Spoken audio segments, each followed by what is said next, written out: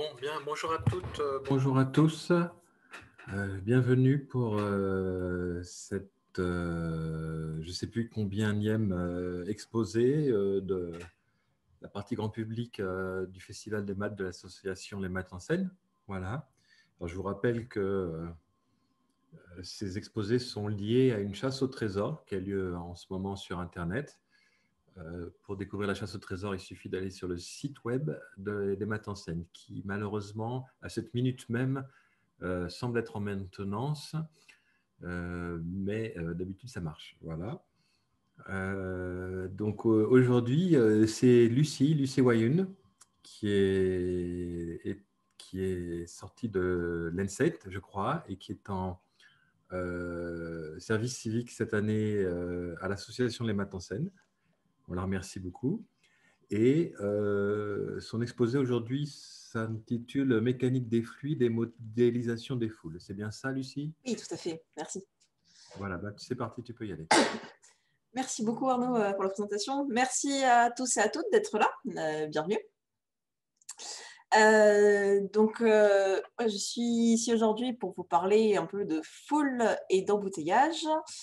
Euh, et comment, quand on est mathématicienne ou mathématicien, euh, quand on fait des sciences, on peut aborder ces deux phénomènes qui euh, ne doivent probablement pas être le meilleur souvenir que vous avez du monde de pré-Covid, mais c'est quand même très intéressant. on peut vraiment s'y intéresser d'un point de vue mathématique. Et c'est tout à fait passionnant. Donc, mon exposé aujourd'hui va se diviser en deux parties, très simplement. Je vais d'abord commencer par vous parler de mouvement de foule. Euh, on va rester assez factuel sur les mouvements de foule. On va pas trop rentrer dans le détail. On va juste euh, s'appuyer sur euh, des, articles qui ont été publiés, notamment par des équipes au CNRS. Et on va essayer de comprendre un peu comment est-ce qu'on arrive à modéliser une foule mathématiquement. Et la seconde partie, on va parler d'embouteillage. donc là, cette fois, on va essayer d'aller un peu plus dans le fond des choses. On va vraiment essayer de comprendre comment on arrive à modéliser un embouteillage euh, grâce aux mathématiques et à la mécanique des fluides. Donc là, on va essayer d'aller un peu plus euh, dans le fond des choses, dans le fond de la modélisation, mais normalement, ne vous inquiétez pas, ça restera accessible à tous et toutes, en tout cas, j'espère. Ok, alors, euh, parlons pour commencer, si vous voulez bien, un petit peu de mouvement de foule. Alors, les mouvements de foule, c'est euh, un sujet qui, euh, qui, est étudié depuis un certain temps, en mathématiques notamment. Euh, alors, au début, quand on parlait de mouvements de foule, ce qui a intéressé en tout premier les chercheuses et les chercheurs, c'était les mouvements de foule plutôt animaux. Donc, pourquoi est-ce que les poissons se déplacent en banc? Comment est-ce qu'ils arrivent à avoir cette intelligence collective de se déplacer en banc? Pourquoi les oiseaux, dans les mouvements migratoires, ils vont avoir cette forme en V caractéristique? Et euh, pour euh, répondre aux besoins de l'industrie agroalimentaire, euh, pourquoi, comment est-ce qu'on peut déplacer au mieux des mouvements, des troupeaux de bétail? Donc ça, c'est des sujets qui sont vraiment passionnants et sur lesquels il y a plein, plein de choses qui ont été, qui ont été étudiées. Mais nous, ce qui va nous intéresser, ce qui intéresse les chercheuses et les chercheurs depuis quelques années, c'est plutôt les mouvements de foule humaine, évidemment. Et dans un cas assez particulier, c'est le cas qui va nous intéresser aujourd'hui, c'est le cas des évacuations d'urgence. Donc là, c'est vraiment le moment où euh, modéliser des foules, ça va devenir important, parce qu'on veut vraiment euh, minimiser les mouvements de panique, on veut minimiser les accidents qui peuvent se produire quand on a une foule qui cherche à sortir très rapidement d'un bâtiment. Donc voilà, c'est là qu'on va pouvoir faire intervenir les mathématiques et essayer de comprendre euh, comment euh, agencer au mieux notre espace pour euh, éviter les mouvements de panique et éviter les accidents. Donc, d'abord, petit, petit sondage rapidement qui devrait être disponible dans le chat si je ne me trompe pas. donc, imaginons que vous puissiez organiser une grande fête, voilà, la première fête après la levée des, restrictions. Euh, vous avez le choix entre louer deux fêtes, deux salles de fête. Donc, euh, soit la salle A, que vous voyez là à gauche euh, de l'écran, soit la salle B. Donc, la salle A et la salle B sont identiques, sont, voilà, identiques en, tout point. Ce sont des grandes salles des fêtes. on a une sortie d'urgence qui est sur la gauche. Sauf que dans la salle de droite, on va avoir un énorme poteau qui va être devant la, à, peu près, à peu près devant la sortie voilà, donc euh, là, la question qui se pose, c'est de quelle salle est-ce qu'on peut, euh, est-ce que vos invités vont pouvoir sortir en premier? Quelle salle vaudrait-il mieux que vous louiez si vous avez à cœur la santé et la sécurité surtout de vos, de vos invités? Je vais vous laisser 30 secondes pour répondre. J'ai perdu le... Pardon. Bon, pour l'instant, il y a 41% des personnes qui ont voté. Et ces personnes semblent connaître la réponse, ah. puisque nous avons du 100% sur la salle B. Très bien. Très bien. Donc, euh, donc vous avez réussi à déjouer euh, votre intuition qui est que euh, quand on, a, on va avoir ce, poteau devant la, sortie, ça va être finalement plus sécuritaire. Donc, on va essayer de voir ça un peu du point de vue mathématique et essayer de retracer un peu les études qui ont été faites, notamment au CNRS, pour essayer de comprendre comment est-ce qu'on peut expliquer le fait que ce poteau au milieu de la, de la salle nous permettent d'évacuer plus facilement la dite salle des fêtes. Alors, pour ça, donc on va essayer de retracer un peu le, cheminement de pensée qui a été, qui a été fait. Alors, euh, prenons là un, mini exemple de foule, c'est-à-dire juste sept personnes qu'on voit de dessus. Donc, ce qu'on va pouvoir faire en mathématiques, ça va être ce qu'on appelle une approche microscopique. C'est-à-dire que ce qu'on pourrait faire euh, dans un premier temps, ce serait essayer de considérer chaque personne dans son individualité, avec euh, sa tête et euh, ses jambes, ses bras, enfin, essayer vraiment de modéliser les personnes comme on aurait des mannequins. Donc ça, ça va demander beaucoup de temps, beaucoup de calculs. Donc ce qu'on préfère faire, c'est donc cette approche microscopique et considérer que chaque personne peut être approximée par une boule ou par un disque, voilà, si on le regarde de dessus. Voilà, on sait que cette personne ne va globalement pas trop sortir de ce disque. Donc, euh, quand on regarde dessus, hop, on peut dire que chaque personne est représentée par un disque. Donc là, dans notre euh, mini-foule de cette personne, on va faire pareil avec euh, chaque, individu qui compose la foule. Et donc, on va se retrouver avec, plutôt qu'une foule assez complexe à décrire avec tous ces humains, avec chacun leurs différences, on va se retrouver avec sept, sept boules comme ça, uniformisées. Donc, euh, on, une fois qu'on a posé euh, ça, une fois qu'on a posé ce modèle, une personne égale une sphère, euh, un disque, il va falloir mettre en place quelques règles. Alors, la première, c'est que les disques ne peuvent pas se chevaucher, les boules ne peuvent pas se superposer. Donc ça, ça veut tout simplement dire que quand on va chercher à évacuer la salle, on ne va pas se mettre sur les épaules de son voisin ou de sa voisine, chacun va rester bien les deux pieds au sol. Et donc, euh, première règle, interdiction pour les disques ou pour les sphères de se recouvrir. La seconde règle, elle est un peu plus subtile, elle nous dit que chaque individu va connaître sa trajectoire. En fait, c'est là que l'étude des foules et même des embouteillages devient un petit peu complexe. C'est qu'on peut ou pas choisir d'y mettre de la psychologie. Donc, euh, nous, on va commencer par euh, un modèle, le modèle le plus simple qui existe, c'est-à-dire qu'on va avoir un modèle sans psychologie du tout, c'est-à-dire qu'on ne va pas prendre en compte des personnes qui vont faire demi-tour, par exemple, pour chercher leur téléphone ou pour chercher leur manteau.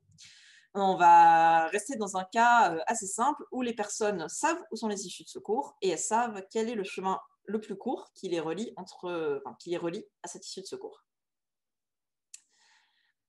Donc, euh, toute cette démarche, donc, elle a été faite euh, par, des équipes euh, du CNS qui se sont posées la même question que nous. C'est-à-dire, là, j'ai deux salles identiques, sauf que dans la salle de droite, si j'ai un poteau, donc en l'occurrence un grand triangle devant la, porte, de quelle salle est-ce qu'on va pouvoir sortir en premier? Donc, c'est l'équipe de Bertrand Maury et notamment une chercheuse qui s'appelle Juliette Venel qui a, fait ce genre de calcul. Donc là, comme je vous l'expliquais, elle a représenté chaque personne par un disque. Donc, vous voyez que certains disques ont euh, des couleurs. Donc, euh, en fait, ça représente aussi la compression des personnes. C'est-à-dire que plus un disque va tirer vers le rouge vif, plus la personne va être comprimée par euh, ses voisins, ses voisines ou même par les murs. Donc, on peut lancer la simulation qui avait été réalisée par Juliette Denel. On voit que les personnes sortent de la salle. On a quelques petits moments de ralentissement, mais tout va bien au début, jusqu'au moment où on va avoir un arrêt de la circulation. Et ça va former comme ça une arche. Donc là, la simulation continue. Hein. On voit euh, certaines boules qui sont plus ou moins rouges. La simulation continue. Et en fait, si on se retrouve dans une situation là sans psychologie, c'est-à-dire sans personne civique qui laisse passer son voisin ou sa voisine, on va se retrouver dans une situation complètement bloquée et ça va former comme ça une arche et plus personne ne pourra entrer ou a fortiori sortir de la salle. Donc maintenant, on peut regarder exactement le même calcul, mais avec ce poteau-là devant la, devant la porte. Et on peut regarder ce que ça donne. Donc là, encore une fois, les personnes sont comprimées, sont comprimées derrière les poteaux, sont comprimées à côté des murs. Mais finalement, on voit que la salle s'évacue petit à petit.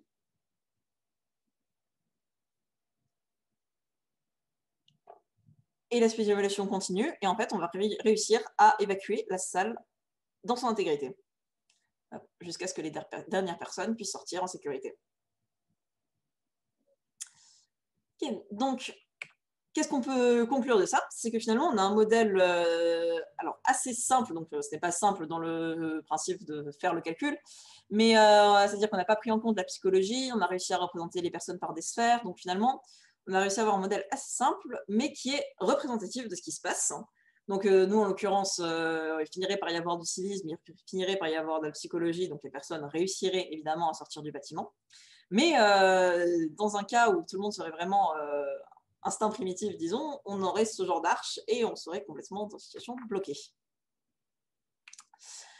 Donc euh, c'est un résultat contre-intuitif finalement. Euh, mettre un obstacle devant une sortie qui permet une meilleure circulation, ça ne va pas être quelque chose euh, qui est évident en tout cas. C'est pas si on essaye de réfléchir à froid au problème, hein, c'est pas ce qui peut nous sembler la meilleure option. Et donc ce résultat-là, en fait, il avait été connu empiriquement. En fait, les architectes n'ont pas attendu euh, de, connaître les résultats qui ont été fournis par les chercheuses et les chercheurs. C'est un modèle qui est utilisé en architecture depuis très longtemps. Et il faut peut-être faire attention donc devant des entrées d'exposition ou alors peut-être plus proche de nous, de certains poteaux devant des escalators qui paraissent poser là et ne pas trop avoir de sens. Mais en fait, derrière ce genre de, d'architecture, il y a en fait la volonté de permettre aux personnes de mieux circuler. Euh, Lucie, euh, quelqu'un demande est-ce que vraiment les gens en cas d'incendie vont rester civiques? Voilà, c'est le problème. Et c'est là qu'en fait, la simulation où on oublie complètement le côté psychologique euh, est, absolument valide. C'est pour ça. donc, les, les, recherches avec psychologie sont vraiment très très complexes. Donc, euh, on ne va pas rester dans ce détail-là. Mais oui, c'est pour ça que c'est vraiment, euh, vraiment important de bien placer ces obstacles-là et éviter vraiment, euh, ne pas faire confiance au civisme des humains. Ça, ça va être aussi le cas dans la partie embouteillage, on va le voir tout à l'heure. Ne pas faire confiance au civisme et à la politesse des humains et, vraiment faire tout au mieux et prendre en compte les modèles sans psychologie. donc, si cette partie, un petit peu échauffement sur les foules, vous a semblé clair, on va pouvoir attaquer la partie sur la modélisation des embouteillages. Alors encore une fois, euh, pas les meilleurs souvenirs, les embouteillages, peut-être plus proches de nous en ce moment.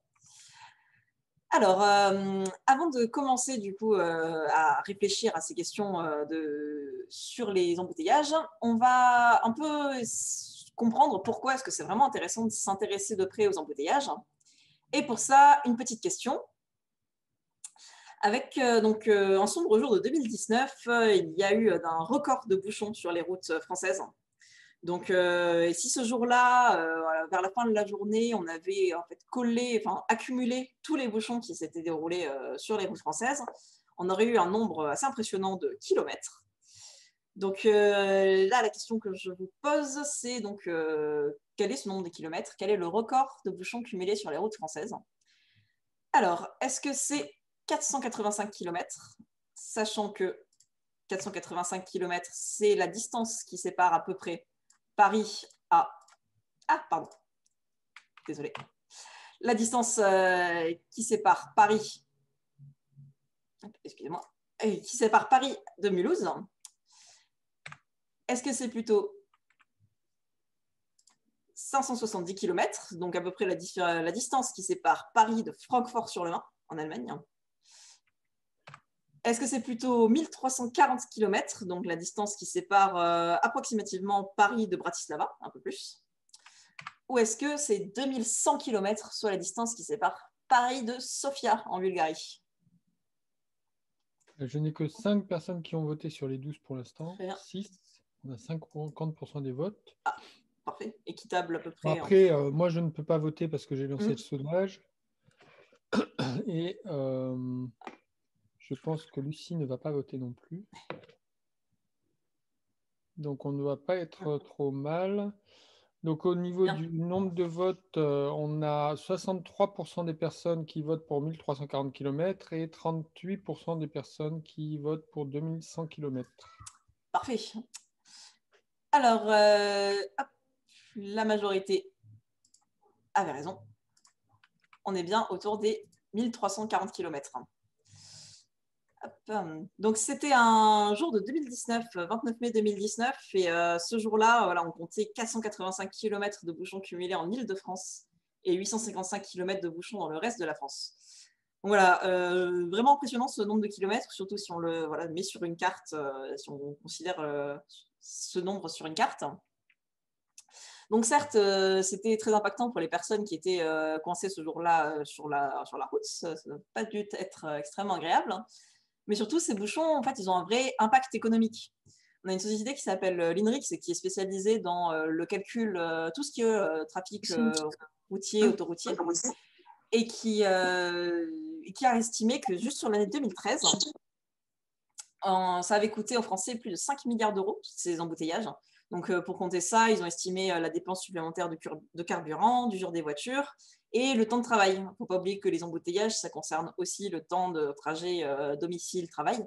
Et que donc, euh, tout ça, c'est tous ces embouteillages, c'est du temps de travail perdu. OK.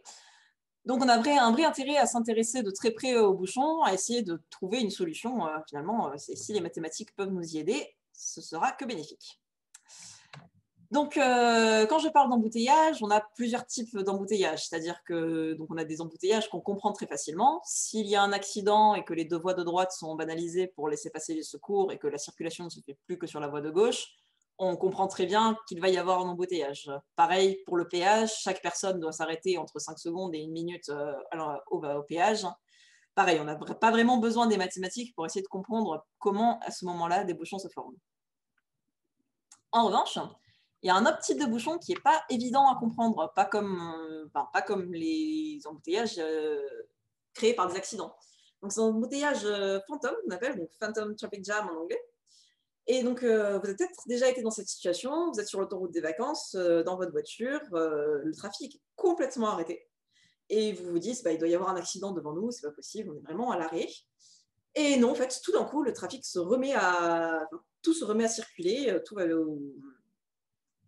tout, circule euh, comme il faut et c'est comme s'il ne s'était jamais rien passé. Euh, tout le monde se remet à rouler à la vitesse normale. Donc c'est vraiment ce type d'embouteillage, nous, qui va nous intéresser parce que c'est celui-là qu'on va pouvoir euh, expliquer et tenter de résoudre grâce aux mathématiques. Ok, donc pour comprendre les embouteillages, il va falloir qu'on crée un modèle mathématique. Donc quand on est mathématicien, mathématicienne, la première chose qu'on va faire, ça va être observer le phénomène. Donc, euh, nous, on va observer notre petite voiture là. Donc, euh, l'occasion pour tous et toutes de constater que j'ai fait des études en ingénierie et en graphisme, mais j'ai fait avec les moyens du bord. Donc, euh, une fois qu'on aura observé notre phénomène, on va pouvoir écrire un certain nombre d'équations et tenter de les résoudre. Donc, ça, c'est vraiment le principe de, la création du modèle mathématique. Donc, notre voiture. Notre voiture, elle va être sur une route. Alors, euh, pour euh, nous simplifier euh, le modèle, on va considérer que cette route n'a qu'une seule voie. Parce que si on commence à prendre en compte les comment doubler et tout, ça va être vraiment très compliqué. Donc, on va se contenter aujourd'hui d'un modèle à une seule voie, une petite route de campagne. vous verrez que c'est quand même assez puissant. Donc, cette voiture sur la route, elle a évidemment une vitesse. Donc, nous, on a plutôt l'habitude de la compter en kilomètres heure parce que c'est ce qui est écrit sur notre tableau de bord. Mais voilà, quand on fait des mathématiques, on a plutôt tendance à parler en mètres par seconde. Cette voiture, elle a aussi une position sur la route, donc elle, on va la compter en mètres. Et pour la définir, on va aussi avoir besoin d'un point origine. Donc, euh, imaginons, par exemple, on peut prendre comme point origine un péage. Et donc, cette voiture-là va avoir une vitesse et une position par rapport au péage. Cette voiture sur la route, elle n'est pas toute seule, sinon on n'aurait pas de problème d'embouteillage. Elle a des voitures euh, devant et derrière elle.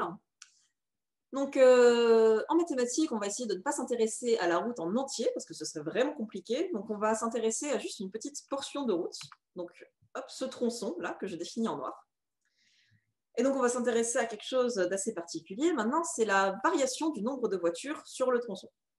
Alors, pourquoi est-ce que c'est cette grandeur en particulier qui nous intéresse? Hop, on va le voir de suite. Imaginons à 15h02, on est dans cette situation-là. Sur notre tronçon, on a deux voitures euh, qui avancent, on a une troisième qui en est sortie, tout va bien. Eh bien, si à 15h03 ou 15h02 et 50 secondes, imaginons, on est dans cette situation-là, avec quatre voitures sur le tronçon, euh, la voiture d'avant qui ne semble pas avoir bougé, et on se doute qu'on va vers une situation d'embouteillage, où on y est déjà en tout cas. Donc ça, c'est le cas où la variation du nombre de voitures sur le tronçon, elle est positive, elle a augmenté. On a plus de voitures sur le tronçon euh, au, temps euh, ultérieur. En revanche, si à 17h02, on est dans cette situation-là, donc euh, toujours la même situation de départ, deux voitures sur le tronçon, et qu'à 17h03, on est dans cette situation-là, avec une voiture, disons, et demi sur le tronçon, on est loin d'une situation d'embouteillage, on va avoir une circulation fluide et assez d'espace entre les voitures pour prévenir les accidents. Ok, donc j'espère que c'est clair, que ce qui nous intéresse, donc, c'est la variation du nombre de voitures sur le tronçon. Pour essayer de caractériser cette variation, on va avoir besoin de deux grandeurs physiques en particulier. La première, c'est la densité. Donc, on va la noter. Moi, j'ai une question. Oui, bien sûr. Là, tu dis on s'intéresse à la variation. Dans, dans, la, dans la diapo suivante, tu avais mis des mmh. couleurs aux voitures. Oui. Donc tes voitures, elles, sont identifiées ou euh, c'est juste euh, toutes sont semblables et tu t'intéresses juste au nombre de voitures et pas à, savoir si c'est la voiture A ou la voiture B euh, On s'intéresse juste au nombre de voitures. Là, c'est vrai que j'ai mis des photos parce que pour mon exemple, ça me paraissait plus clair. Donc là, on voit vraiment qu'on a les, voitures qui avancent. Hein. Euh, voilà, du, d'un temps à l'autre, on, peut les, on, peut les repérer par leur, voiture, par leur couleur, oui. Si c'était ça la question. Ok, merci. Très bien. Euh, du coup, on va avoir besoin de plusieurs grandeurs physiques pour euh, essayer de caractériser cette variation. La première grandeur qui nous intéresse, ça va être la densité. Du coup, alors, on va la noter petit d, et ça va être le nombre de voitures par mètre. Donc, euh, en pratique, compter le nombre de voitures qu'il y a sur un mètre, euh, bah, ce n'est pas faisable. Enfin, souvent, les voitures font plus d'un mètre. Donc, ce qu'on va faire, c'est par exemple compter le nombre de voitures qu'on a sur 10 euh, ou 100 mètres, puis ensuite diviser par 10 ou 100 pour avoir le nombre de voitures qu'on a sur un mètre. Ça, c'est la première grandeur physique, la densité D. Notre seconde grandeur physique, ça va être le flux. Donc, on va noter grand F. Donc, euh, pour compter ce flux, on va tracer une ligne imaginaire sur la route et on va compter le nombre de voitures par seconde qui passent par cette ligne imaginaire. On ne va pas avoir besoin de grand-chose de plus euh, pour exprimer notre variation de nombre de voitures sur le tronçon. Donc, euh, grâce à ces deux grandeurs, je vais pouvoir caractériser donc, ma variation de voitures, comme par exemple étant le nombre de voitures qui rentrent sur le tronçon, moins le nombre de voitures qui sortent du tronçon pour un instant donné. Donc ça, on va le compter grâce au flux. J'ai une seconde façon de caractériser la variation du nombre de voitures sur mon tronçon, c'est en utilisant la densité. Donc pour ça, je vais dire que la variation du nombre de voitures sur le tronçon, c'est la variation du nombre de voitures par mètre multiplié par la longueur en mètres du tronçon. Donc en fait, on a deux façons euh, de voir la, même, la même grandeur. Donc on a deux façons d'exprimer la variation du nombre de voitures sur le tronçon. Donc ça, quand on fait des mathématiques, avoir deux façons d'exprimer la même chose, on aime beaucoup, parce que ça nous permet de faire d'écrire des égalités. Donc là, ne prenons pas peur. Donc euh, ça, c'est juste la traduction mathématique de tout ce qu'on vient de dire. La variation du nombre de voitures sur le tronçon, elle peut être exprimée comme la variation de la densité multipliée par la longueur euh, du tronçon, ou elle peut être aussi exprimée comme le nombre de voitures qui rentrent moins le nombre de voitures qui sortent. Donc ça, ça s'écrit sous cette forme-là, qui est assez horrible, qu'on appelle une équation aux dérivées partielles. Donc euh, on n'a pas besoin de savoir euh, la résoudre ni rien pour euh, continuer à suivre cet exposé, heureusement, parce que c'est un peu, un, peu, il faut des outils mathématiques qui sont assez puissants et qu'on ne va pas expliquer aujourd'hui. Mais ce qu'on peut retenir, c'est que quand on a un mathématicien ou une mathématicienne qui regarde ce genre d'équation aux dérivées partielles, il ou elle va se dire qu'en en fait, on va pouvoir trouver un lien entre la densité et le flux donc entre D et F, là, que j'ai noté en couleur. Donc ça, heureusement, on n'est pas les premières personnes à le faire aujourd'hui. Euh, avant nous, il y a notamment trois mathématiciens anglais, britanniques et américains qui s'y sont intéressés, qui s'appellent Lighthill, Whitham et Richards, et qui nous ont fourni un modèle qu'on appelle le modèle LWR, en leur honneur, et donc qui nous permet d'exprimer la densité, donc on se rappelle en voiture par mètre, en fonction du flux, en voiture par seconde.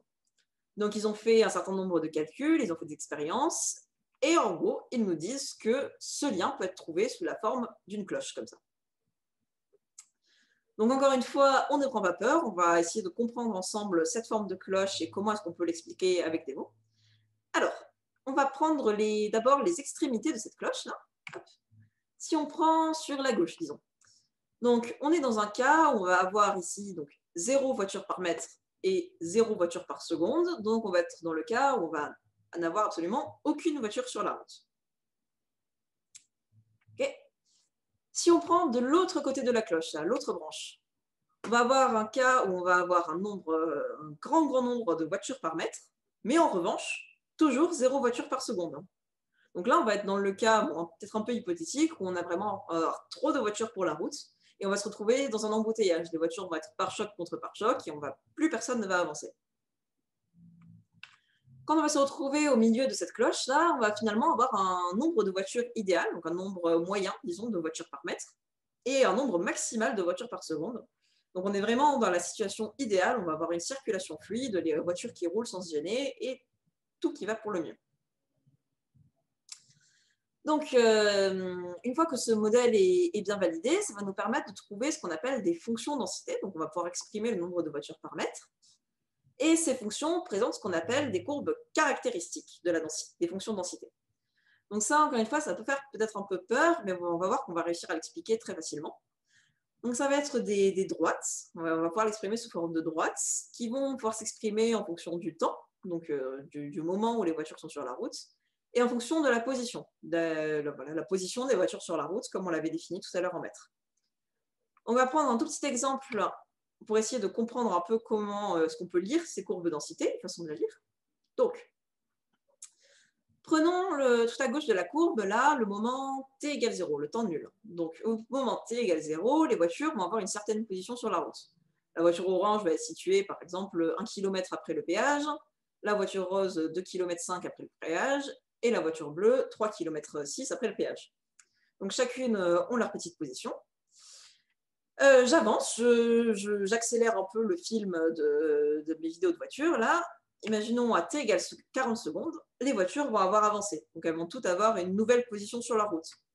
La voiture orange va avoir avancé avec sa vitesse, donc elle va avoir euh, une certaine position par rapport au péage. Pareil pour la voiture rouge, pareil pour la voiture bleue. Donc euh, maintenant, on va revenir à ce qui nous intéresse, les embouteillages, et comment est-ce qu'on peut euh, visualiser un embouteillage là sur ce genre de courbe euh, caractéristique. Donc imaginons, là, comme on l'a vu tout à l'heure, on a toutes les voitures qui avancent à leur rythme, elles ont leur vitesse, personne ne se gêne, tout va bien.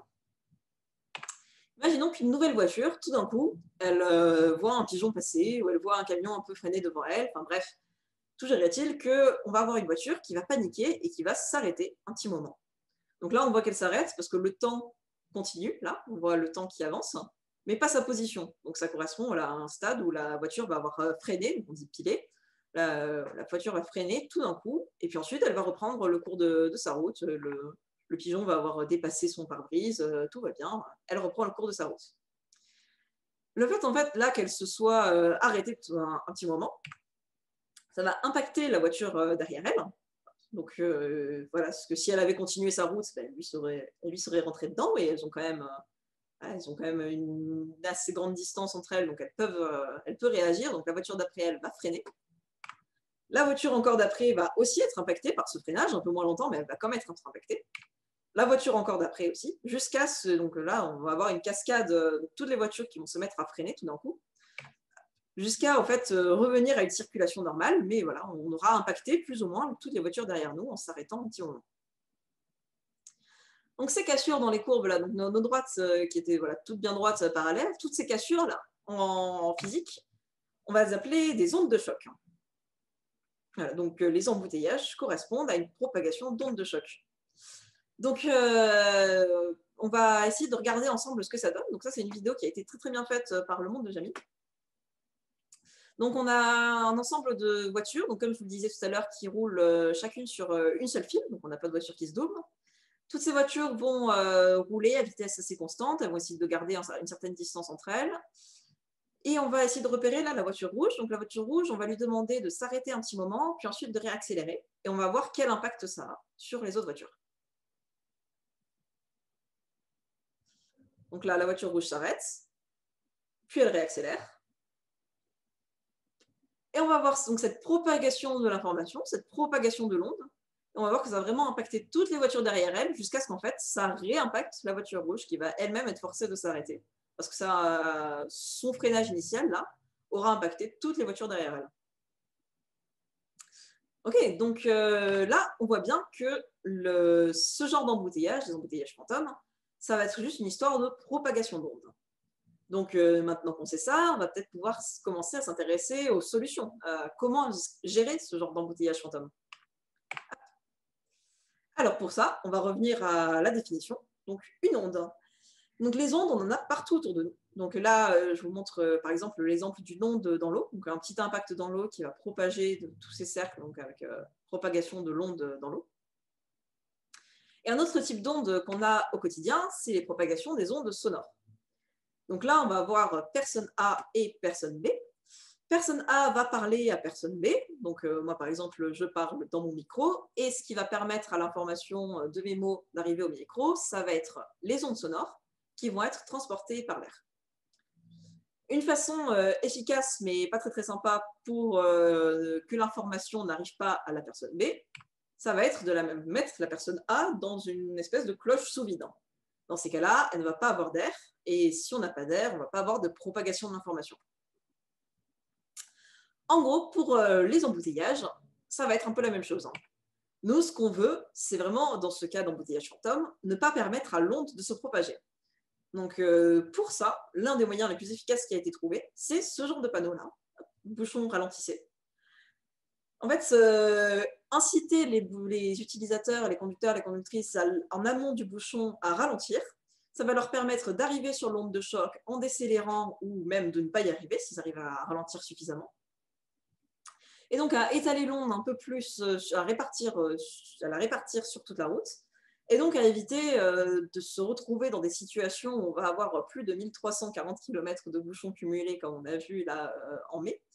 Et donc ça va permettre de vraiment euh, éviter de, cumuler et de propager l'onde jusqu'à jusqu'à atteindre des records. Voilà, donc si on peut conclure, on a un modèle mathématique, voilà, pas, tout à fait simple, un modèle mathématique très puissant qui nous permet de comprendre un peu mieux donc, euh, comment est-ce qu'on va, comment est-ce que ces bouchons vont pouvoir euh, se former alors qu'ils étaient a priori assez inexplicables. Euh, donc tout ça on le fait grâce aux mathématiques et à un domaine de la mécanique des fluides qui s'appelle la dynamique des ondes. Et euh, on voit qu'en faisant ce petit modèle, on va réussir à essayer de trouver euh, des solutions pour essayer de comprendre comment est-ce qu'on peut résorber les bouchons avant qu'ils se forment trop et qu'ils atteignent des sommets et des records. Moi, je pourrais encore vous parler de mécanique des fluides appliquée au réseau routier ou de mathématiques appliquées pendant assez longtemps. je vais juste vous donner deux petites indications si vous voulez, si le sujet vous intéresse, et deux, trois pistes de réflexion supplémentaires. En mathématiques, euh, quand on parle de route, on peut parler encore de plein de domaines de mathématiques. Le premier domaine que je vais juste rapidement vous aborder, c'est la théorie des graphes. Quand on essaie de construire des réseaux routiers, qu'on essaie de parler de géométrie du réseau routier, euh, il va y avoir un domaine des mathématiques qui va intervenir, c'est la théorie des graphes. Et le second, qui est vraiment intéressant et qui est euh, assez bien documenté sur euh, Internet, je pense notamment à une vidéo de Science for All, une chaîne YouTube francophone, qui est animée par un jeune homme qui s'appelle Lé et qui est vraiment passionnante. Donc, euh, c'est un domaine de la théorie des jeux qui est un paradoxe, le paradoxe de Brest, qui nous dit que finalement, ajouter une route dans un réseau routier, ça va paradoxalement réduire la performance globale. Donc, une solution pour éviter les embouteillages, ce n'est pas finalement de rajouter des routes supplémentaires. Ben, merci beaucoup à tous et à toutes euh, pour votre attention. Si vous avez des questions, si vous avez des remarques, euh, n'hésitez pas à les écrire dans le chat. Je vais essayer d'y répondre. Merci beaucoup.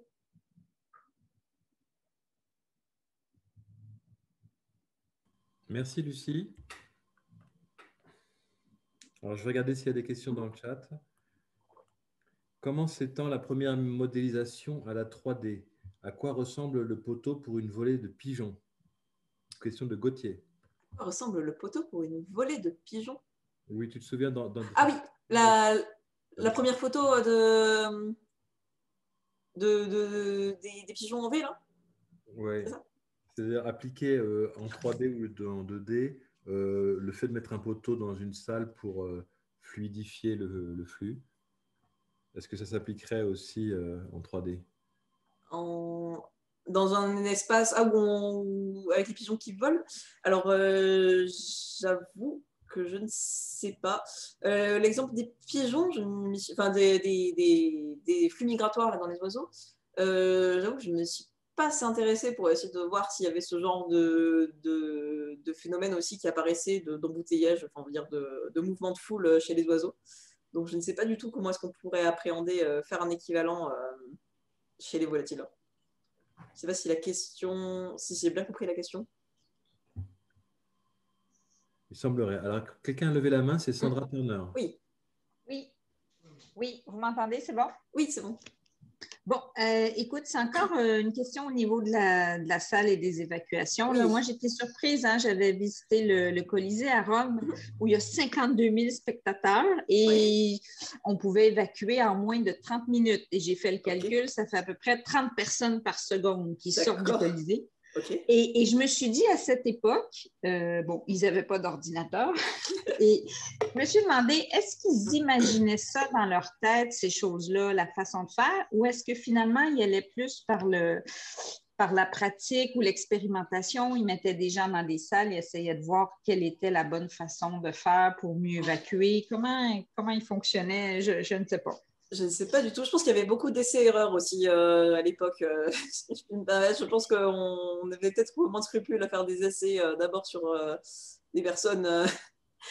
je pense qu'ils fonctionnaient effectivement plus empiriquement et par essais-erreurs que, que dans des par calcul et par réflexion. Mm-hmm. je ne me suis pas du tout intéressée à la question, mais je n'avais pas remarqué l'exemple du Colisée. Je vais essayer de m'y intéresser. Du coup, là, 30, 30, personnes par seconde, ça me paraît incroyable. Parce que du coup, il y a, ah, des, il y a des sorties euh, réparties partout euh, autour du cercle, c'est ça? Oui, oui, il y a 80 cercles pour sortir, donc du coup, ça fait sortir rapidement. Mais après, par exemple, quand tu as montré la modélisation avec la petite colonne devant la porte, est-ce que ça, par exemple, on a pu le tester avec euh, des rats ou des souris, on les met dans une boîte et on regarde si, elles sont capables de sortir vite avec ou sans la colonne? Est-ce qu'après, on refait le test sur des animaux ou des... Ah, des, animaux, je ne sais pas, j'ai vu l'expérience. Euh, alors, ce n'était pas euh, dans le cadre d'un papier, je l'ai vu dans le cadre d'un documentaire qui s'intéressait à ça et qui s'amusait à le faire avec des étudiants qui sortaient d'une salle, donc pas vraiment en panique, mais c'était juste voilà, une alarme, essayer de comprendre en réaction d'alarme des élèves qui sortaient de leur euh, conseil d'orientation, quelque chose comme ça. Okay. Évacuer la salle. Euh, et, ça, c'est bluffant euh, en termes de, performance. Mais après, test sur les animaux, je ne sais pas. Parce que humain, c'est toujours un peu biaisé. là, pour le coup, ils étaient quand même. J'avais l'impression qu'ils étaient quand même un peu plus pressés dans la seconde expérience que dans la première. Donc, je ne sais pas si on mhm. peut avoir des, papiers où il y a eu comparaison à, à, vraiment un sujet test, bêta test avec des vraie situation d'urgence ou vrai comportement euh, animal, sensibilisme. Le, Stade de France, dans, le même genre de choses, le Stade de France s'évacue aussi en un quart d'heure, 20 minutes, je crois, pour 80 000 personnes. Et c'est lié au, nombre de, portes et au fait que euh, le euh, et au fait que le pardon euh, qu'on a un peu comme une histoire d'arbre, c'est-à-dire que qu'il y a au début des, petites allées, puis plus, plus on, les allées se, rassemblent, plus les, les, allées sont larges. Oui, donc en fait, il y, a un petit peu de ça aussi, et il y a bien sûr bon nombre, bon nombre, suffisamment nombre de sorties. Euh, ouais. de, il doit sûrement y avoir une histoire d'étage aussi quand on fait un peu la, comparaison euh, Stade de France euh, Colisée. Enfin, ça fait un petit moment que je n'ai pas mis les pieds dans un stade, mais euh, les gens sont répartis sur plusieurs gradins, j'ai envie de dire le mot. on doit avoir cette, évacuation comme ça qui se fait un peu comme en, flot de gradient. donc, on va voir les, salles les plus basses qui sortent, puis celles du haut. Donc, on a une, organisation en fait qui semble plus instinctive que quand on a une salle où tout le monde est sur un pied d'égalité avec une sortie unique. Hein me semble. oui. Il y a une autre question, deux autres questions. D'abord la fourcade, Pascal Lafourcade, qui demande si on met plus de poteaux, est-ce que ça améliore l'évacuation Je sais que j'ai vu cette image dans un papier, il faut que j'essaie de me souvenir de la conclusion, je suis désolée. Euh, il me semble qu'en termes de taille de poteau et de nombre, alors le papier que j'ai en tête, il en avait, il en avait trois, euh, trois poteaux euh, les uns à côté des autres, hein, en zigzag. Et il me semble que ça empirait au bout d'un moment, au-delà d'un certain nombre, on empire la situation. Mais je t'avoue que j'ai plus les conclusions de, en tête. Je suis désolée. Je, retrouverai la. je t'enverrai si je, le, je referai un, récapitulatif de, des conclusions de cet article-là. Très bien. Question suivante. Euh, des Margeries qui demande pourquoi est-ce que la courbe de Light Hill est une parabole? Est-ce qu'on peut deviner qu'il y a une symétrie sur le maximum? Ah, alors en fait, c'est un. Donc, du coup, la, densité, en fait, elle, pardon, elle s'exprime euh, comme un polynôme en fonction du flux. Euh, est-ce qu'on peut deviner quel est le, maximum de la parabole? C'est-à-dire dire qu'elle est au milieu, par exemple? Oui, par exemple. Oui, tout à fait. Euh, là, j'ai fait que le, dessin approximatif euh, de la, de la parabole, mais il y a une, vraie équation, et en effet, c'est un polynôme du second degré, donc on a, vraiment cette, cette, forme de cloche avec une densité, euh, la densité moyenne qui permet un flux maximum.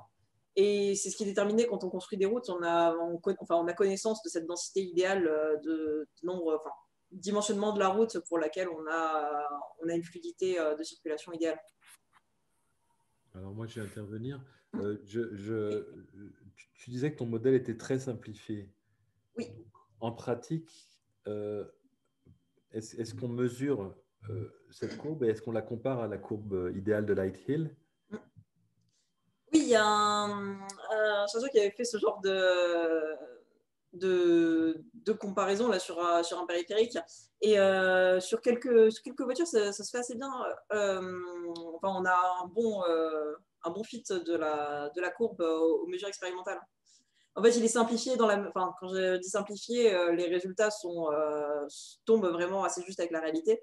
Mais c'est surtout, euh, on est dans une situation particulière de routes plus ou moins rectilignes, sur lesquelles les gens ne vont pas avoir tendance à accélérer.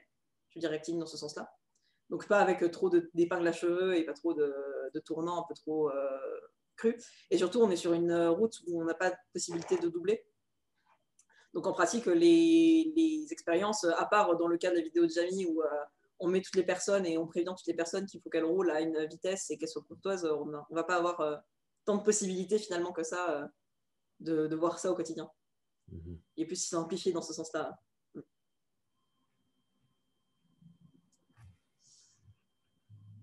Ok, il ne semble pas y avoir d'autres questions, mais moi j'en avais. Oui.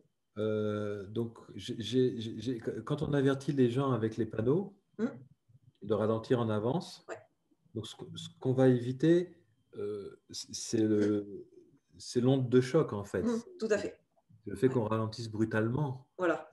Mais j'ai pas l'impression qu'on va euh, fluidifier le trafic en, en moyenne. Oui, c'est-à-dire que mm. les gens ne vont pas arriver plus tôt chez eux. Voilà. Ils vont éviter d'avoir un bouchon. Est-ce que je me mm. trompe C'est le problème. C'est un peu euh, quand on parle, euh, j'ai familier avec le, paradoxe de Brest. En fait, euh, quand on dit par exemple donc l'ajout d'une nouvelle route réduit la performance globale, c'est on la réduit en moyenne. Il y a des gens que ça va arranger et d'autres pas. Et avec cette histoire de décélérer, enfin, essayer d'arriver en décélérant sur l'onde de choc pour ne pas la propager, ça va être la même chose pour les premières personnes par exemple qui décélèrent clairement, ça va leur être euh, défavorable. Hein. Mais c'est en moyenne permettre, euh, permettre à l'onde de choc de ne pas se propager et permettre à l'ensemble en moyenne de ne pas, euh, de ne pas arriver plus tard chez soi, on va dire. Donc c'est encore là une, un jeu assez particulier de mélange de civisme et de mathématiques qui, qui rentre en jeu. Moi, j'ajouterais un petit point. Là. Je sais que dans ces zones de choc, il y a beaucoup plus d'accidents parce qu'on est moins mm. alerte. Et donc, tu arrives plus tard chez toi quand tu as l'onde de choc. Donc, c'est mieux de ralentir. Tu as plus de chances d'arriver. C'est vrai, parce que si on connaît sur le sujet, si on prend en compte la psychologie, en fait, euh, ce qu'on remarque souvent dans les zones de choc, c'est que les personnes, une fois qu'elles ont été arrêtées qu'elles sont libérées, entre guillemets, de l'onde et qu'elles arrivent à réaccélérer, elles vont avoir tendance à réaccélérer euh, beaucoup plus fort et donc à rouler beaucoup plus vite euh, après. Donc, pas du tout maintenir une, vitesse de 90 km/h. Par contre, directement faire des pointes à 140. Et donc, en fait, c'est ça qu'on appelle l'effet accordéon aussi, c'est-à-dire qu'elles vont se remettre à accélérer tellement fort que chaque petite perturbation, chaque petit freinage va entraîner une nouvelle onde de choc. Et ça va être ça, ce, jeu d'accordéon, d'accélérer super fort et puis ensuite de repiler, etc. etc. donc, c'est encore une fois un, savant jeu de psychologie, de civisme et, et de mathématiques. Mm. Très bien. Est-ce qu'il y a d'autres questions? Oui, euh, de Desmargerie. Euh, est-ce qu'une équation d'onde comme celle d'une corde seulement, où il y a vraiment un lien avec une équation fluide Euler-Navier Je n'ai pas très bien compris la question, Marjorie. Est-ce que tu comprends, euh, Lucie? Alors, on donc tu me parles d'onde. Donc, alors c'est vrai que quand on parle d'onde, on pense onde dans, dans, les cordes, enfin, c'est-à-dire pincement, pincement de corde voilà, pardon. Euh, pincement de corde de harpe, elle va avoir une propagation d'onde à l'intérieur. Et après, tu me parles de Navier, donc d'équation de mécanique des fluides, c'est ça? Voilà, oui, je, demandais si euh, est-ce que ce n'est qu'une équation d'onde ou est-ce que mm. euh, l'équation est plus que ça et qu'il y a un lien avec les, équations fluides de Euler ou Navier-Stokes? Oui, tout à fait. En fait, on parle quand on, parle de ce genre de problème, en fait, c'est de, des problèmes de fluide compressible. Hein en fait, ça va se comporter comme les, problèmes du fluide compressible. Et d'ailleurs, petite, euh, petite parenthèse, quand, moi je fais des études à l'ENSET en mécanique des fluides. Et pour introduire le cours de dynamique des ondes et euh, de fluide compressible, on parle d'embouteillage, on parle de, de mouvement autour des feux rouges. Donc en fait, oui, ça c'est une version euh, discrète, on va dire, et assez bien pensée pour introduire le, problème de, de, fluide compressible. Parce que ça répond à la question. On va, va vraiment parler d'ondes de choc, euh, voilà, comme on parle dans les, euh, problématiques de fluide compressible, dans des, fusées ou dans des euh, compresseurs. Donc on, est bien dans le cas d'une équation de, de, l'air, mais en compressible, mais discret, c'est ça? Tout à fait, c'est ça. D'accord. Voilà, comme on a voilà, ces, ces, voitures qui se suivent les unes à la suite des autres et qui ne peuvent pas se rentrer les unes dans les autres, c'est assez beaucoup plus visuel et ça permet de mieux comprendre le phénomène. Ok, merci.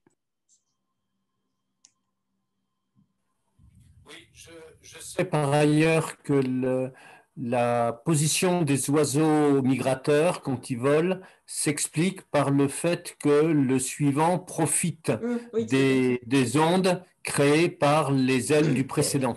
Oui, on a, on a les Donc, en quelque sorte, ils, surfent, sur la descente de la vague de l'air euh, du, précédent et que c'est pour ça qu'ils sont en plus à, vitesse, à distance constante les mmh. uns des autres, etc. Oui, bah ça, ça, a inspiré les cyclistes dans les courses de si je ne me trompe pas, si je dis pas de bêtises. Je ne les connais pas trop. Mais euh, je sais qu'on a, on a ce genre de formation aussi avec euh, la personne euh, qui s'en sort le mieux, qui est à l'avant et qui permet aux personnes suivantes de, de profiter voilà, de, ce, de ce trou qui est créé de surfer, comme vous disiez. Oui, alors ça, c'est. Mm. C'est aussi pour ça que les nageurs dans une mm. compétition de, en piscine, celui qui est en tête, s'il veut pas que les autres profitent de sa mm. vague, ne nage pas tout droit il nage un peu en zigzag, ce qui fait que comme ça, euh, la vague n'est pas toujours euh, au même, même décalage par rapport à lui et le suivant ne peut pas en profiter de la même façon. Ok, très bien. Je ne connaissais pas du tout euh, les stratégies des nageurs. Très intéressant. J'avais entendu ça une fois, j'avais trouvé ça assez amusant.